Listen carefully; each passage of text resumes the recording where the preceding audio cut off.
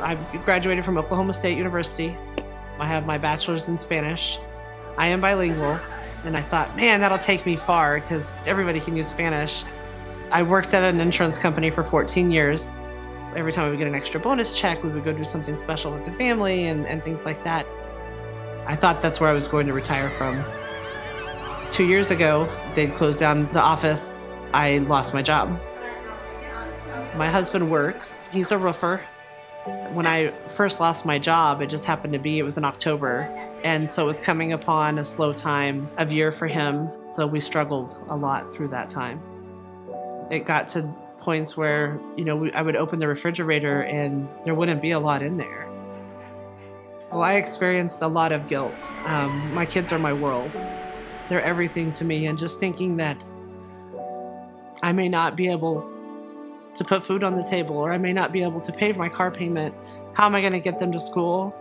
There were times that I would go to bed at night and just cry myself to sleep because I didn't know how am I going to pay for things.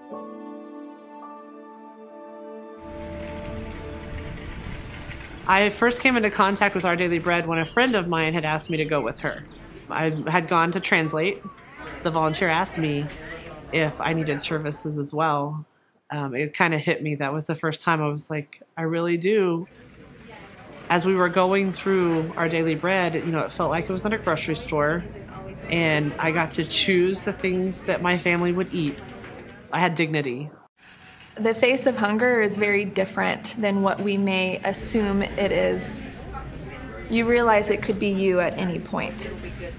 Her story is not unique. There are lots like her, where we serve a lot of guests who have education, who have a degree, who have great jobs.